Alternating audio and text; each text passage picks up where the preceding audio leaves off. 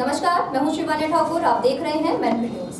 Weber शहीद मेला एवं ग्राम विकास प्रदर्शनी में कवि सम्मेलन का आयोजन किया गया, जिसमें मुख्य अतिथि के रूप में डॉक्टर अनुपम दुबे व विशिष्ट अतिथि सीओ सिटी वाह संयोजक एडवोकेट किशन दुबे ने माँ सरस्वती के चित्र पर माल्यार्पण कर दीप प्रज्वलित किया। देखिए हमारे संवाददाता अभिषेक चौबे की रिपोर्ट। बार बेबर में शहीद मेला एवं ग्राम विकास प्रदर्शनी में कवि सम्मेलन का आयोजन किया गया, जिसमें सर्वप्रथम कार्यक्रम के मुख्य अतिथि डॉक्टर अनुपम दुबे, वशिष्ठ अतिथि सीओ सिटी व महासंयोजक एडवोकेट किशन दुबे ने माँ सरस्वती के चित्र पर माल्यार्पण कर दीप प्रज्वलित किया, जिसके बाद कवि सम्मेलन में आए दूर दराज से आए कवियों ने पंडाल में समा बाँध दिया, जिसमें दिल्ली से चलकर आई कवित्री कीर्ति काले ने सुंदर काव्य संग्रह के माध्यम से दर्शकों का मन मोह लिया।